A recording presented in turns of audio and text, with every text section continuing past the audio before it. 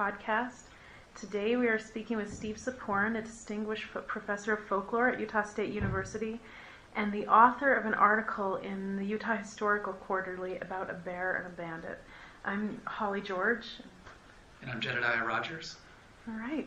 I'll ask our first question. Um, Steve, could you briefly recount the stories of Domenico Tiburzi and Old Ephraim and describe some of the lore that's grown up around these stories? Sure. Um, of course, I could say, do you want the five minute version or the two minute version or the one hour version? because as you know, Old from yeah. people perform it and it can go on literally for an hour. I guess the two minute version.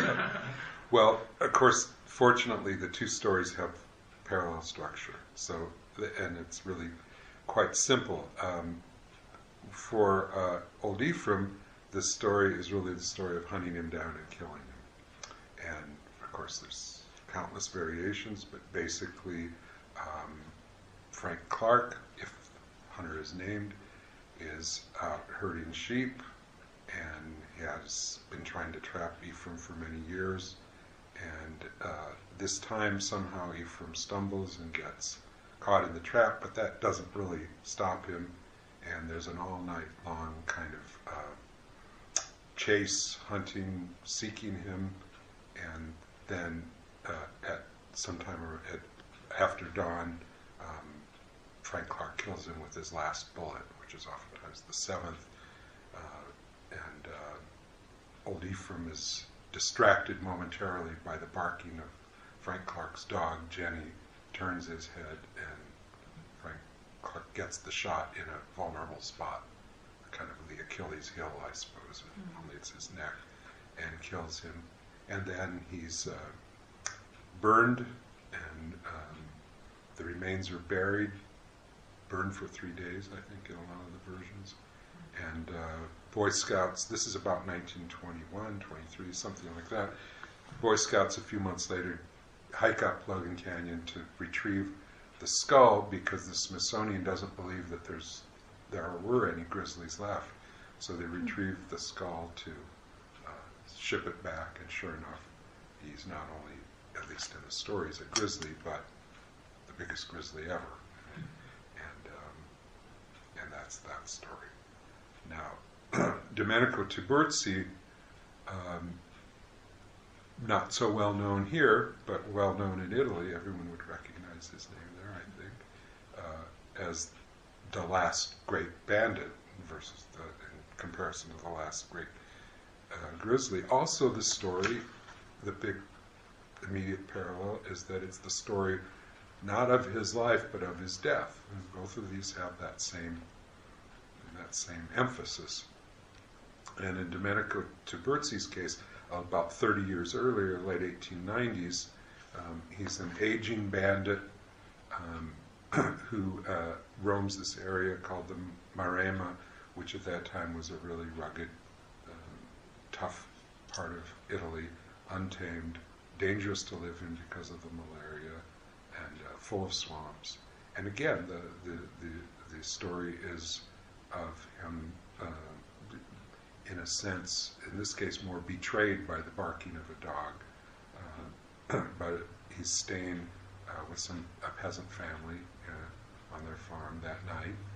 The circumstances of that are kind of contested whether he was welcome there or he imposed himself there. He's there with his lieutenant Fioravanti, and the dog barks, and a carabinieri patrol, the carabinieri or the Italian National Police, um, who are looking for him, uh, hear the dog barking and come to the house. There's a shootout.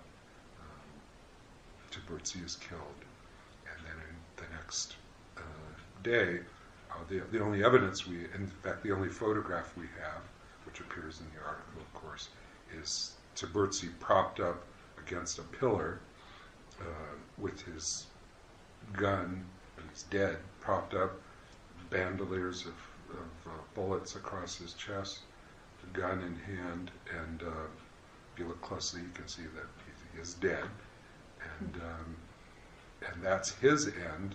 Although we might get into it, how he actually died is open uh, for discussion, and then he's supposedly, according to the story, buried in the cemetery. Um, but there was an argument as to whether he uh, should be buried in the cemetery because he was such an evil man. Priests didn't want him buried in the cemetery, the townspeople did, so the story is they compromised partly in the cemetery, partly out. Um, the cemetery grew, and um, the location of the burial was Oh, lost in uh, in uh, memory. Um, but what is there today, which I just saw a month or two ago, is the pillar that he was propped up against for that photograph in 1896, and that marks his supposed burial spot in the cemetery, and it's got an inscription on it. And so again, just as with um, Ephraim, his end is kind of mysterious, and his hmm. the burial spot is uncertain. what's some of the lore around both of these characters? Well, I think really the stories themselves are the major, the mm-hmm. major uh, expressions of lore. And in the case of Tiburzi, the stories really vary from him being a hero to being a villain. I mean, he can be told in some of the stories he's a Robin Hood type figure, mm-hmm. But as I talk to people in Italy about him, they'll often say, you know, he really wasn't a very good guy. He was a very evil character. And some of the writing about him says he was actually in league with the oppressive landowners in the area and, and exploited the um, uh, the people who tried to work there. And I think the same goes for um, old Ephraim. He's, you know, there are these funny, um, almost triggers about about the story in more like the pizza, the pizza uh, uh, place, um, images of, of bears everywhere, of old Ephraim. Um, but the way the, the, the, the outstanding folklore about them is the stories themselves. Okay. And I, they trump everything else, and other things act to trigger the, the stories. That's interesting. Um, how did you realize that they had uh, th- these two characters seem so disparate and such you know world apart? How did you realize they had a lot in common? You know, that's it's a really timely question because I was just going through my journals for quite a few years um, because I'm doing some other research in, in Italy, and I was just reading through to try to find all the things relevant to that other topic. Uh, This was just a few days ago, and popped out of me where I first wrote down this idea Oh. and and and it, and there is it is I mean it's trivial in one way, but it's interesting in another because it's kind of at least tells me how I get ideas. It just popped out, fully formed. um, one paragraph, I have the whole idea of this comparison, and the circumstance was simply that. I think this is the important part. I had just arrived in Italy to do this other research, and I had a couple of days in Rome that I was you know, just kind of hanging out. And uh, in other words, I think this is important for all researchers. I was freed up of my everyday routine and my everyday work, and my mind was associating freely. And I had heard about Tiburzi a couple of years before that, and of course, I knew about Ephraim forever, but um, it just kind of popped out. I didn't, I wasn't doing research on it. I wasn't thinking about it that I knew of. Maybe subliminally I was. And then I look at the, the at the entry, and it's just these two have a lot in common, you know. And wouldn't this be an interesting kind of article? Although I also think at the time I didn't know if anyone would take it seriously Huh. because it's kind of an odd comparison. That's a good lesson for researching. I think so. I think you need to break out of your routines and you need to ideally go somewhere else mm-hmm. and then you just kind of see things differently. I've always been interested in bears, and that, that's mm-hmm. true. And obviously Italy and living in Utah. And, and I think, you know, the physical, the picture of Tiburzi, if you have it in mind, people see it in the article, he really does suggest a bear. He does look He's like a big bear. fellow. He just he's that. A, an interesting thing I learned recently when I was in Italy talking to uh, people who know about Tiburzi is that he's often seen there as a cinghiale. Cinghiale is a uh, wild boar, and the wild boar is common to this really rugged area. It's what people like to hunt, people like to eat, and people like to avoid running into face to face.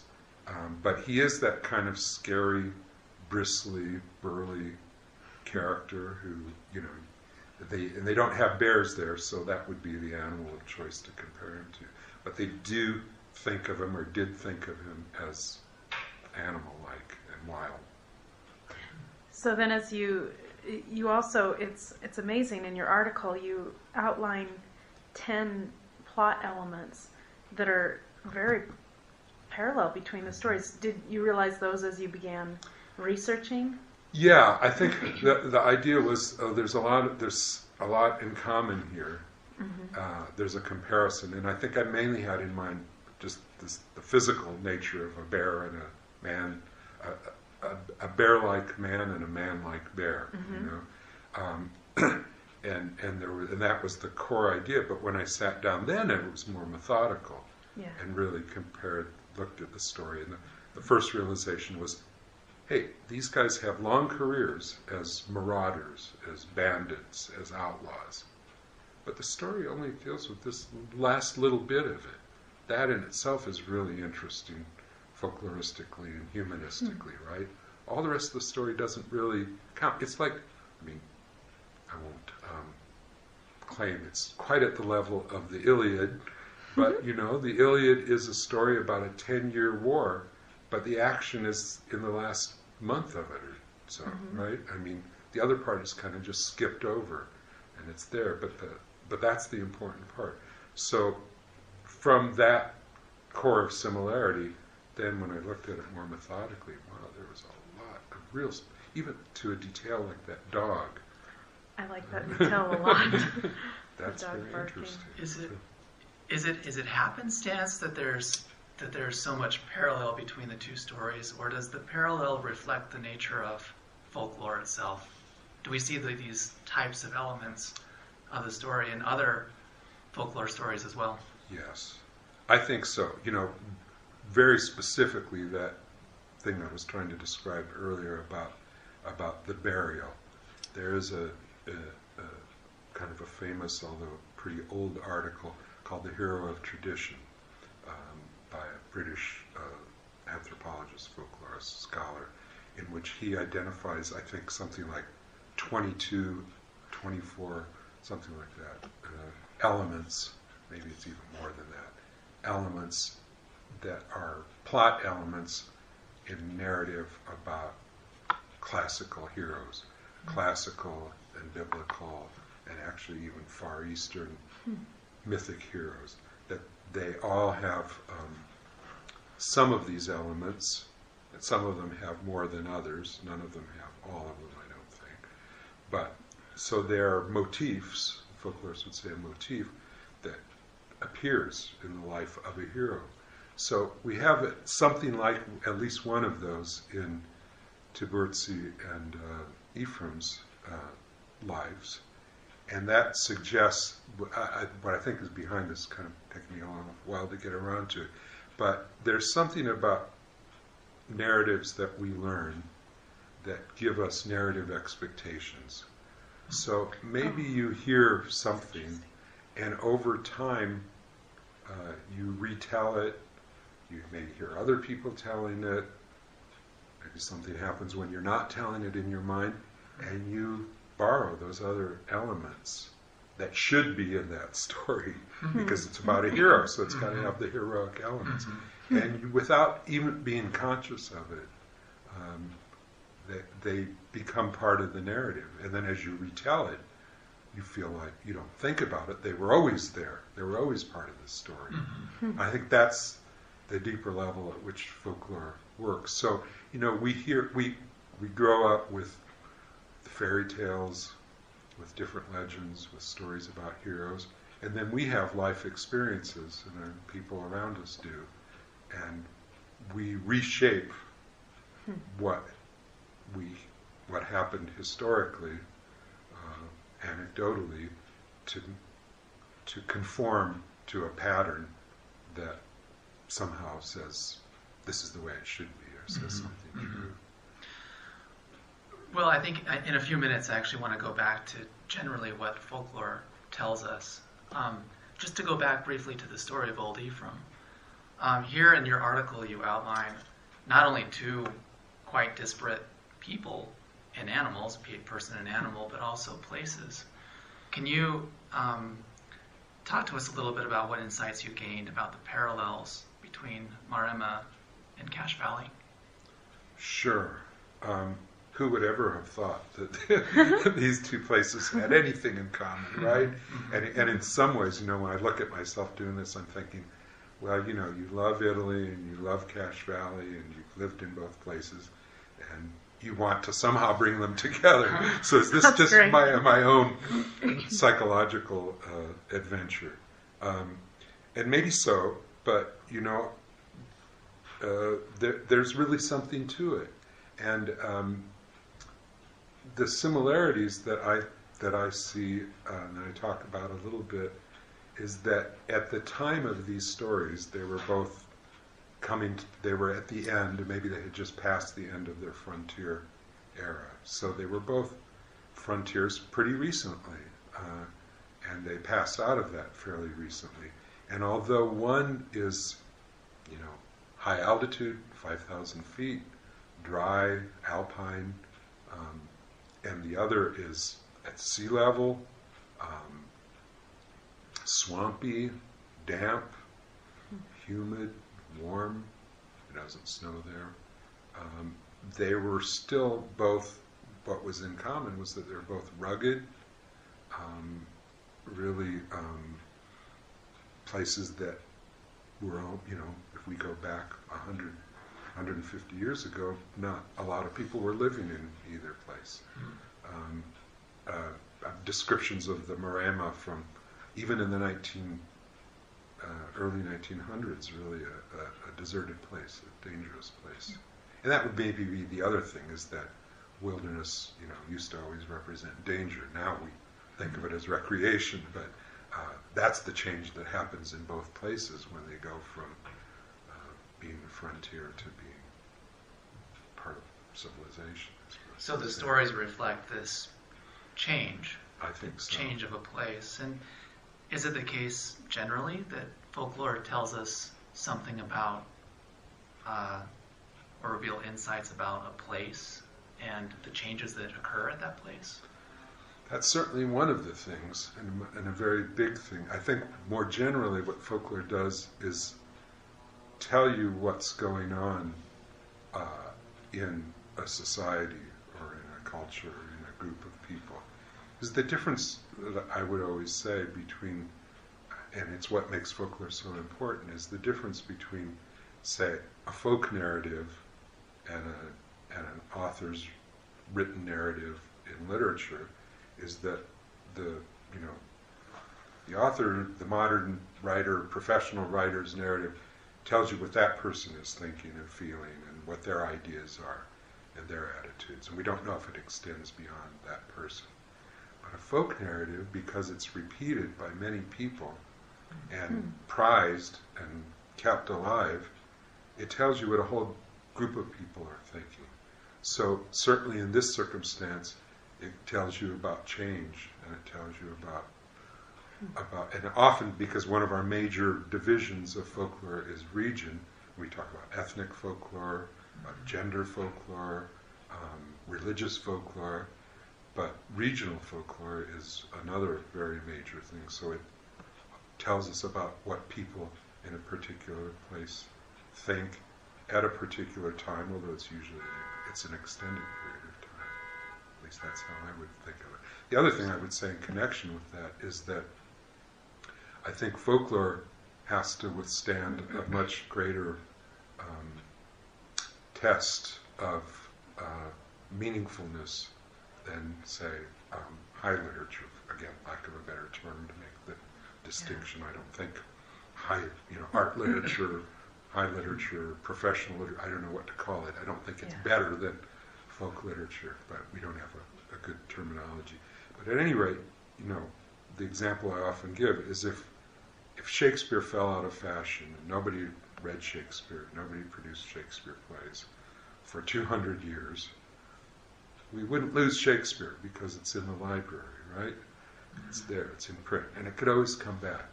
But folk narrative doesn't have that luxury. If for one generation people stop telling an oral tale, there's no record of it, except maybe in the folklore archives now. But it can only be sustained as long as it's meaningful. No one's forcing you to tell the old Ephraim story, right? You don't have to study it in college. You don't have to study it in high school. It's not part of anybody's canon. It's not. Uh, it's only remembered and told because it really, really means something to people. So, I know it's one of your other questions. Um, it's one of the reasons why historians and literary people and everybody should pay attention because these are things that really um, pass the test, the harshest test of survivability, relevance. People don't have to tell these stories, they only do it because they matter.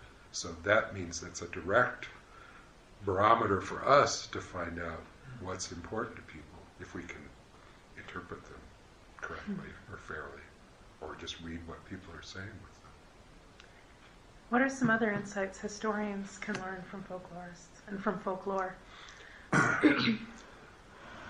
a, a wonderful question, and I should say, as I think back, you know, the some of the folklorists I've known have been historians. Certainly, Uh-huh. the the major uh, American folklorist mid 20th century, Richard Dorson, really his appointment was in history, and he was a historian who studied folklore. I think probably I've already said what maybe the most important thing is Mhm. is that you hear something that's really withstands the test of time, but also it's the voice of many people instead of one. And of course, we all know that for most of history, for most people, um, literacy and written records were not an option. So the, the written records that we typically study, and I know history has become a lot more sophisticated than just looking at written records. I know that's that could be a stereotype too, but um, you're oftentimes looking at the elite levels of culture rather than the folk levels of culture. For instance, I've been, you know, one of the things I've, I've really been interested in in recent years is the study of foodways. And um, it's really that's really been explored by a lot of disciplines.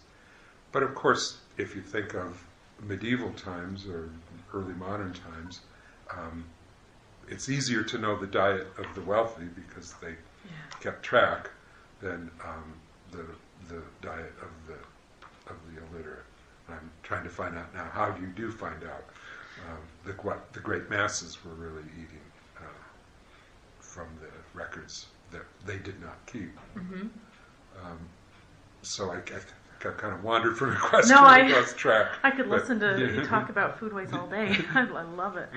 Um, I guess I'll bring it back to Utah. Uh, throughout your career, you um, you know working with students, other things. Have you seen similarities between Utah and other spots in the world?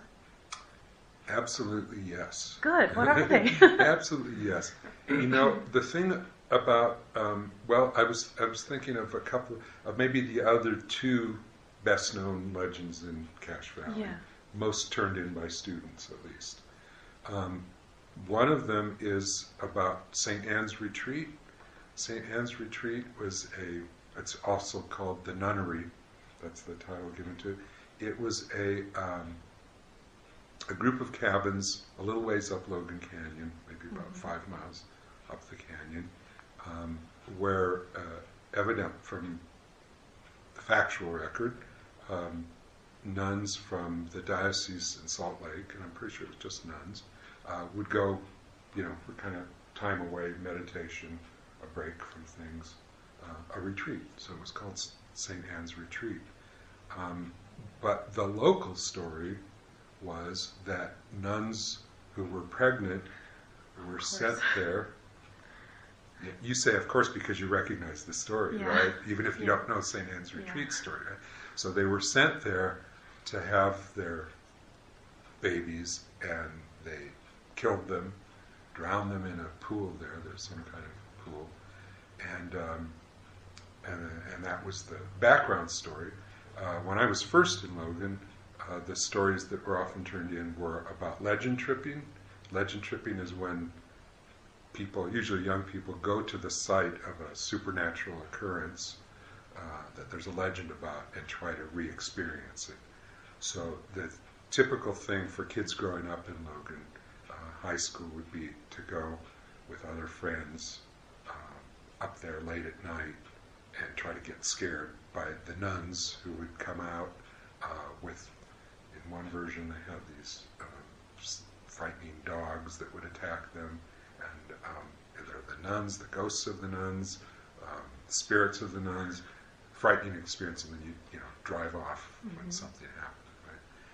More recently, there was one of those things went awry. I think it's been about ten or fifteen years now. One of those um, legend tripping experiences, and there because there were guards set there because they had sold St. Anne's Retreat to some foundation, and they're trying to prevent trespassing. Anyway, these guys, the guards, got out of control and rounded up all the kids and and really did scare them.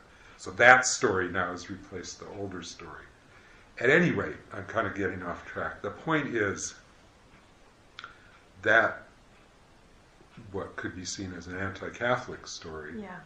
exists everywhere in the world. Not, you know, it's not just up Logan Canyon.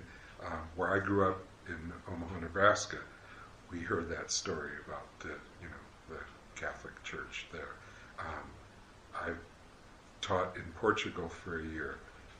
Portugal, a Catholic country, Catholics told it about uh, one particular location where on one hill there was a monastery, on the facing hill uh, there was a nunnery, and the story was that there was a tunnel that went between them that was lined with the, the bones of aborted fetuses.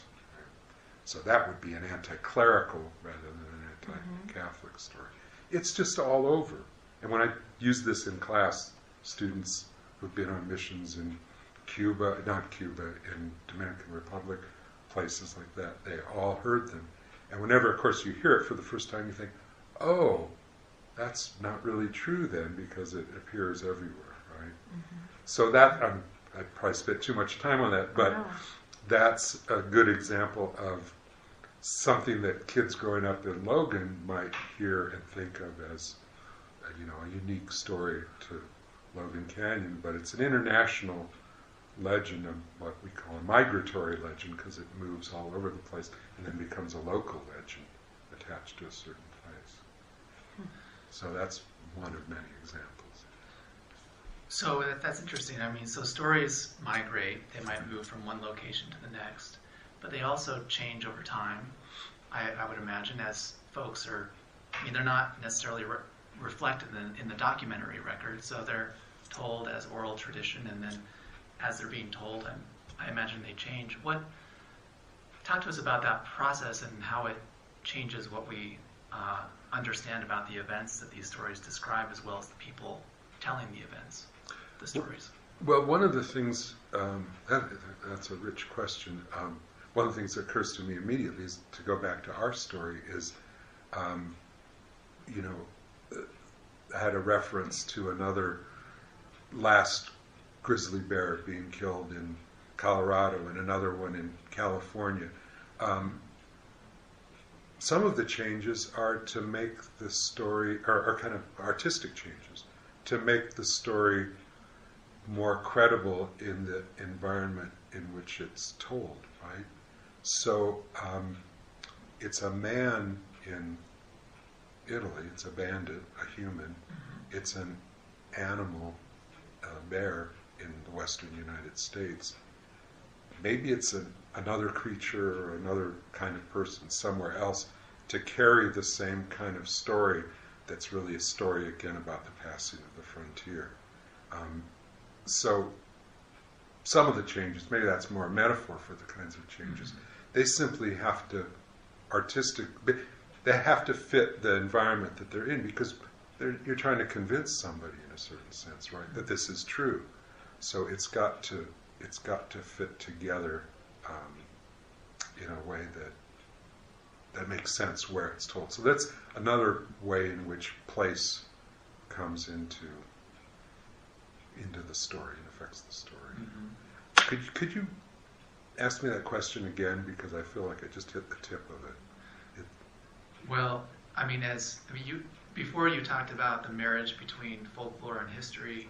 Of course, historians like to look at patterns and change over time. I, I guess I was curious to know how how the stories themselves often tend to change and evolve. Yeah. Um, and I'll leave it at that. I was going to ask something Sure. very much related.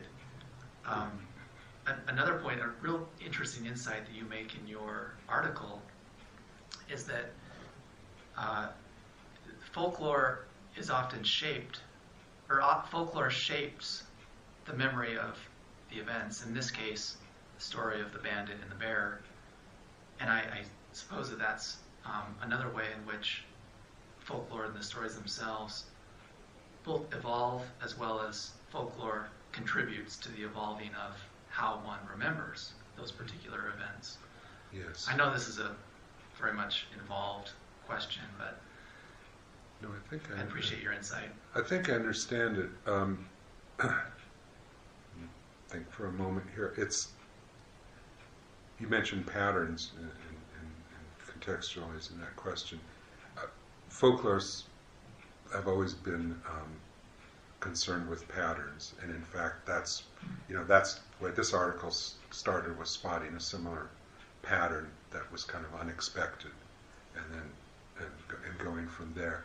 But I think, as I was saying earlier, we have these narratives or bits of narratives um, in that give us expectations for the way a plot is going to play out, and um, so that influences the way that we structure what we experience.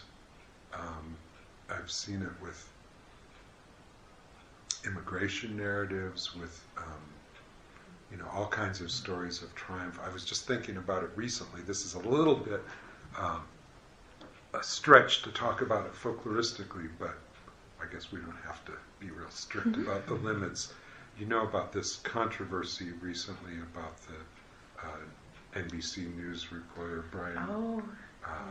Brian Brian Williams? Brian Williams. Yeah. Yes. Um, looking at it from a folkloristic point of view, um, I I have to really have compassion for him, and I don't understand why the other members of the media uh, are being so self-righteous, um, because it doesn't seem to me that it's an outright lie. It seems to me unlikely that someone would tell it, self-consciously tell a lie about their experience to 10 million people and think they weren't going to get caught. I mean, maybe that's some kind of ultimate arrogance, but it seems much more likely to me that he has restructured his memory of his own experience in keeping with a better narrative, the way we all do. And it's really what I've been talking about in many ways about stories. You know, something happened to me, something happened to my father um, over the years as I retell that story and get a better reaction by changing it a little bit without even consciously changing, making it more dramatic, having the grenade launcher go through the helicopter I was in rather than the one behind or in front, um, I start to believe that story too. Um, especially since no, you know, and, from what I understand, one of the accusations is um, he's told this lie multiple times. Well, but did anybody ever call him on it? If they, if they, someone said, "Hey, that couldn't really have happened," and he continued, that would be one thing. But no one has ever said that they said to him, "Hey, that's not true." So if they if they listened to it and they said, "Wow," that reinforced that it was a true story for him, just like we we all do. My, my father had a, had a saying uh, that I never understood until recently. It was, uh, I don't lie, but I don't always tell the truth. And we always took it as kind of a, oh, you know, well, so you kind of you fudge on it. But I think if I take it in the context of, of this controversy and of folklore, it's, you know, I don't mean, I don't necessarily lie, but who remembers anything exactly as it happened? And part of the reason, I mean, I think part of the reason we do that, and maybe this goes to the heart of the importance of folklore and storytelling in general, is we add meaning. We change the story. Sure, I mean, we inflate our egos. He was in a more dangerous situation and he survived it, right? It, it, it, it, makes him more important. But it also makes it more intense and it makes the story more meaningful.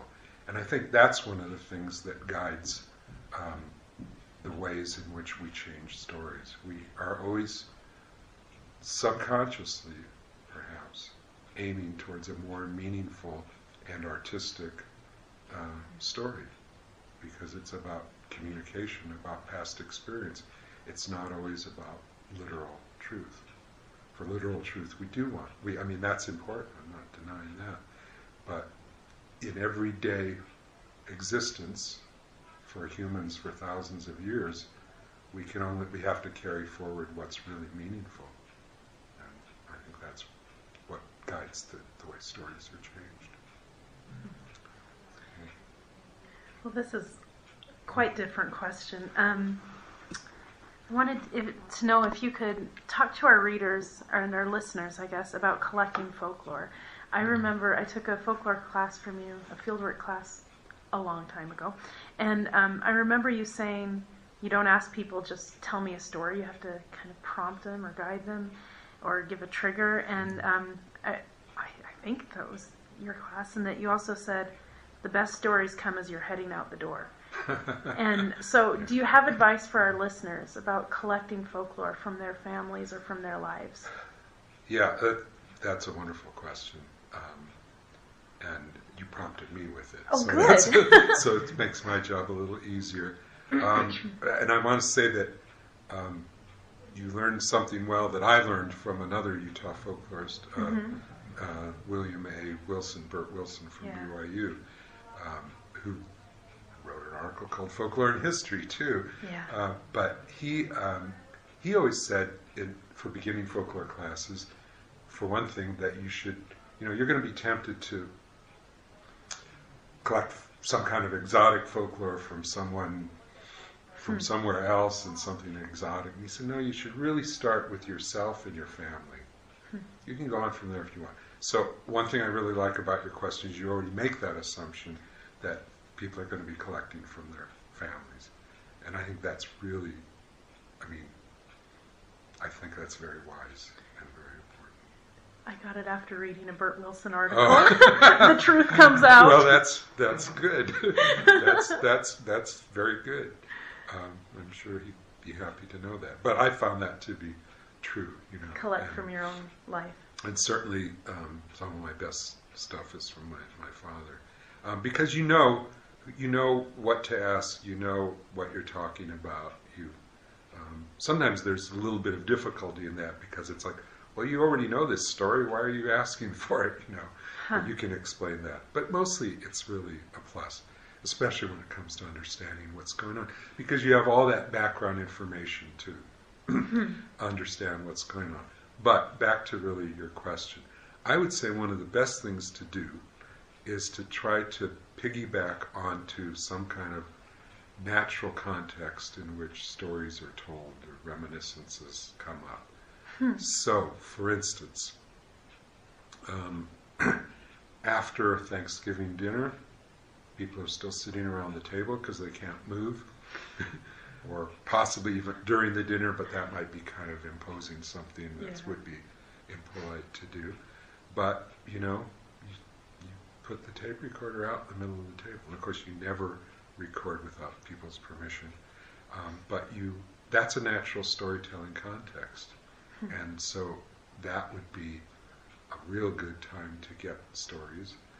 And also, there's a sometimes it's a little bit difficult in transcribing, but in having several people rather than just the one-on-one, they prompt each other, or they say, "It didn't really happen that way," and then you get more than one version of the story, which of course is the lifeblood of folklore. Or they add to something, or someone finally finds out, you know, the, re- the rest of the story, as they say, right? So I think you look for opportunities like that.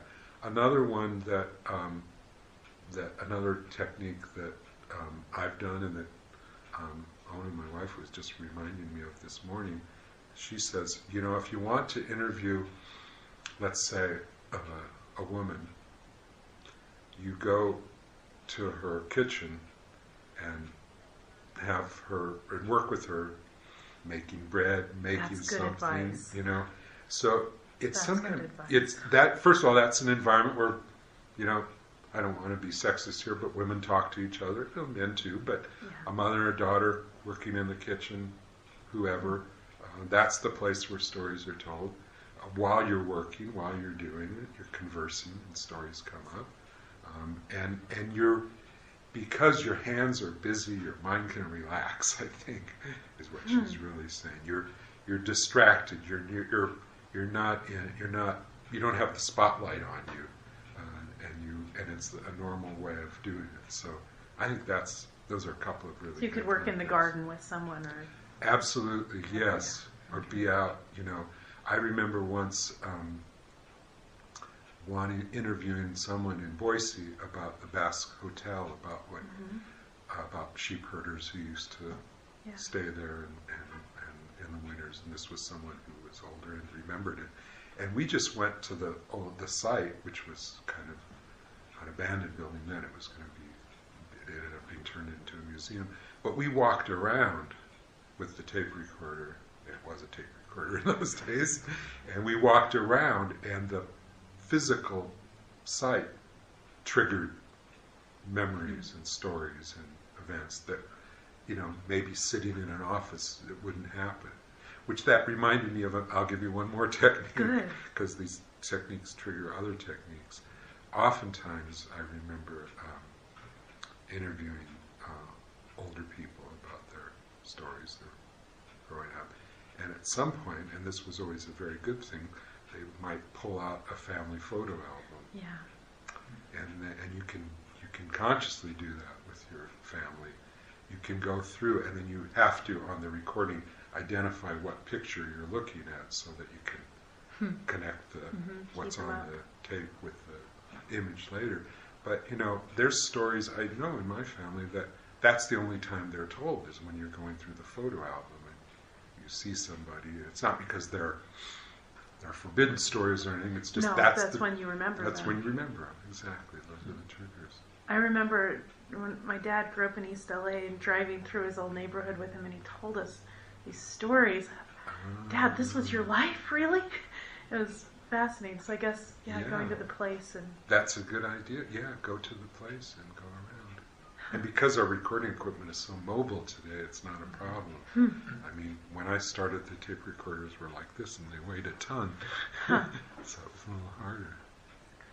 Well, I mean, just listening to you talk makes me realize that humans are we're, we're story. We tell stories. That's what we do. That's And I was true. wondering what you what you think about are are we do we still have a vibrant storytelling culture um, and a transmission of these stories from people to people, or or has that changed in any way um, over the years? I think the answer is is yes and yes. I think we really do. Um, there, sometimes we use the title instead of uh, Homo sapiens, Homo narrans, Hmm.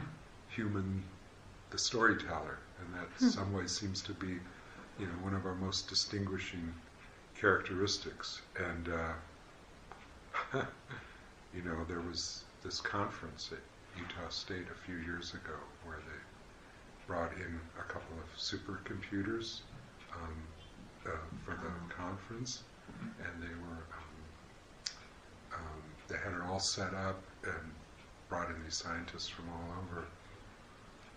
And then the, the, and they kind of didn't know what to do. They said, "Well, let's um, let's ask these computers. Um, let's ask them if they think that computers will ever replace human beings." So they typed in that question, and the computer buzzed in Word, and out came a voice saying, "That reminds me of a story."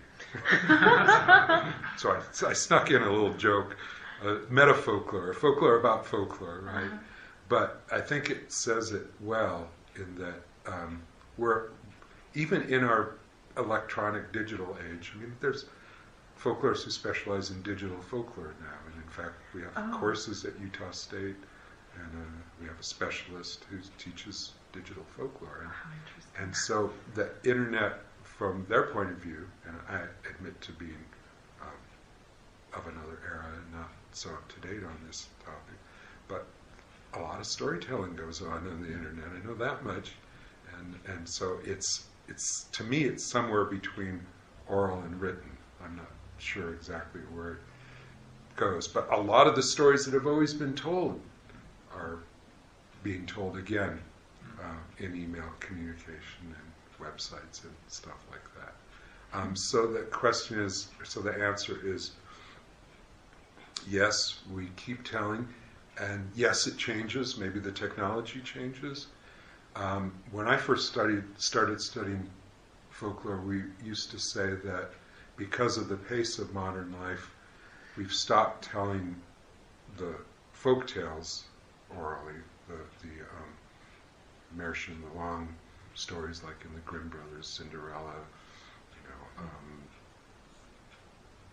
what, the, the cat with the seven league boots, all those magical tales. Um, and instead, we tell a lot more jokes and a lot more legends because they are short and fit modern life. I don't know if that's exactly true or not. Certainly, the fairy tales have an ongoing life in, in written form, and in some cultures they're still told orally. Um, but the point is, maybe in one era, one genre, one type of story gets emphasized more than another. But I, I think we, you know, if you kept a, a story diary for a week and made some notation every point in the day in which you told some kind of a story, I think you'd find it's constant. Mhm. And usually, when we when we when we when we teach a folk narrative course, we'll talk about those classic genres at the first part of the course: you know, the folk tale, the legend, um, tall tales, um, maybe narrative jokes, even myth. But the last part of the course, we concentrate on personal narrative. That is, the stories of things that happen to you that, as we were saying earlier, you recast in terms of other kinds of traditional narratives that you've heard before. But all those stories that you'd collect as family folklore, you know, hmm. all those things that just when you go home, when you recount your day, Oh. you know, you you cast it oftentimes in a narrative form, sometimes more artistically than other times, mm-hmm. and sometimes certain things become recurrent, and you tell them again and again, and then they get shaped artistically, and they do enter into your family folklore. Right? So mm-hmm. yeah, you know, we don't, you know, and actually, maybe full circle. I mean, the word history is the same root as story, right? And sometimes when I'm translating from Italian, I'm not sure when they hmm. say storia, is it history or is it story? and in some sense, those concepts are conflated in, in Italian and not so separated out. Well, fascinating. It really fascinating. Hmm. Thank you. This is my, fun. My pleasure. You guys are very good and you warm me up, and I, I hope someone listens to our stories. Thanks for joining us. Thanks so Yeah. much. my pleasure, definitely.